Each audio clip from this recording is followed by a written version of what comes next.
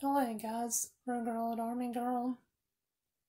And um, I'm going to try to explain a concern that a viewer had about hollow base bullets and black powder.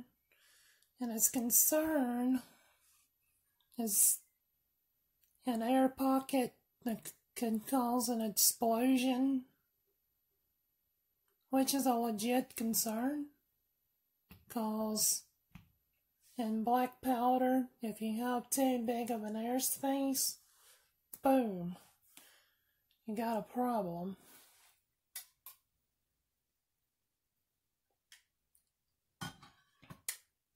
But I'll take the Civil War style Minié ball or as we call it down here in the south, a mini ball. This is a 58 caliber one, Civil War style. It was designed to be smaller than the bore diameter so it could be loaded fast down a muzzle loading barrel. And what happens is, is the gases fill that skirt out and blow it out to bore diameter so it can engage the rifling, which made a pretty accurate combination.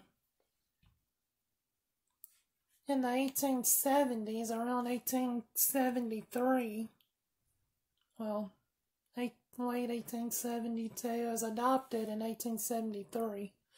The original Trapdoor Springfield load was a 405 grain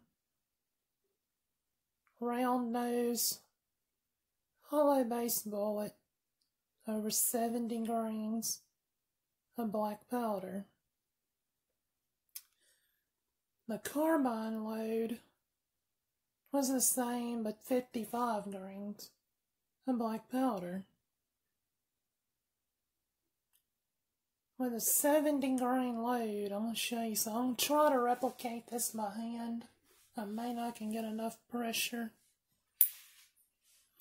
This has, um, I believe it's 3F. Yeah, 3F black powder in it. It's a little bit too fine to really show it on the 58th Minié ball. But when you sink the ball, the bullet, all the way down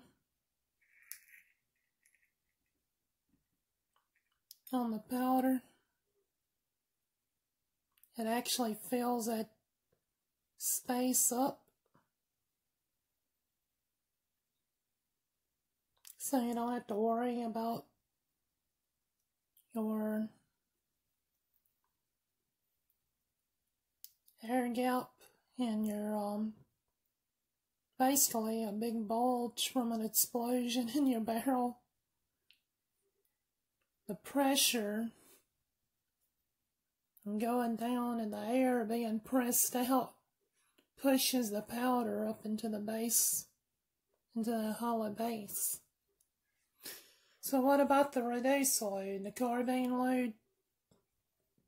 They usually fill it with cornmeal or wheat, cream of wheat, which has the same effect. You put a small what car over the card wad between the powder and um, cornmeal or cr cream of wheat. You press, you cinch your bullet down on top of it nice and tight. It has the same effect. It fills the the um, hollow base. Having brain farts here. More modern day or plain base or flat base. This is another 4570 bull. I believe this one's um 300 grains, if I remember right. And you don't, these are more made to modern specs. Because here's something a lot of people don't know. Some of you die-hard black powder shooters know it. A lot of people don't know. Um, your older black powder rifles, even the cartridge ones,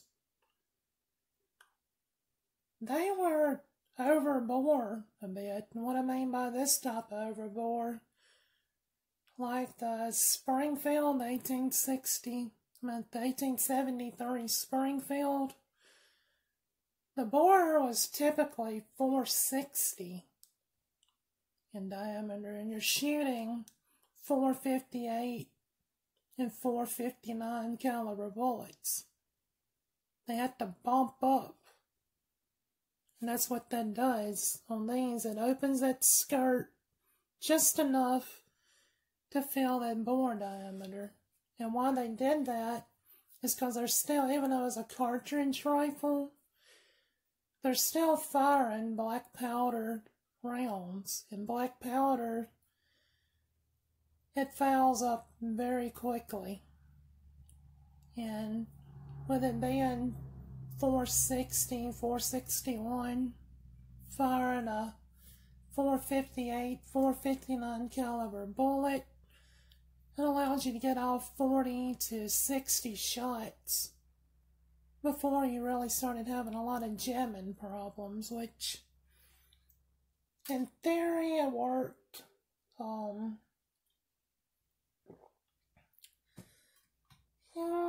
in practice it kind of worked depended on the grade of powder and the type of cartridge you were shooting. Like Custer's men were shooting a copper, like cartridge, um, and it was an epic failure. It would, it would blow out See, when the cartridge goes off in the chamber, it stretches, it flares out to fill that chamber, and then it'll come that back down just a little bit so you can extract it. That's a brass cartridge, modern day brass. Um, when I use this copper foil type of cartridge, it expanded out and it wouldn't retract. So they were getting a lot of jams. Custer's man got slaughtered. And, uh, and partially it could have been due to the black powder, too. I mean, you're firing a lot, even with a hollow base bullet. Eventually, the, the bore, the chamber, is going to start to gum up. Sorry for the ramble and just food for thought. And, um, yeah, so as long as you get your powder level up enough that you can sink the bullet down firmly on the powder, it'll fill that hollow base and you're fine. If you're gonna do reduce loads, use cornmeal or cream of wheat. This is a Ruger old army girl out.